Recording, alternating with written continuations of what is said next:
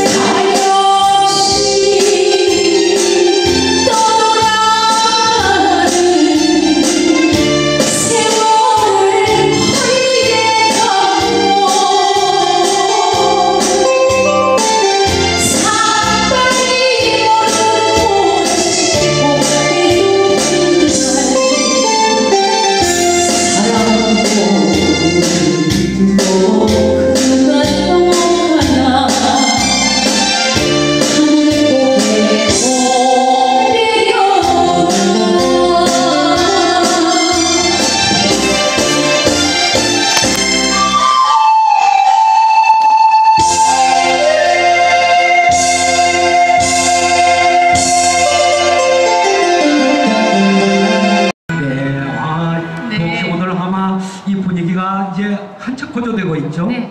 네. 우리 대구 백화점 앞 동성로 무대에서 네. 어, 대구 시민 여러분과 함께하는 무대 그리고 관광객 여러분들과 함께하는 멋진 무대가 계속해서 네. 연출이 되고 있습니다. 그죠? 그럼요.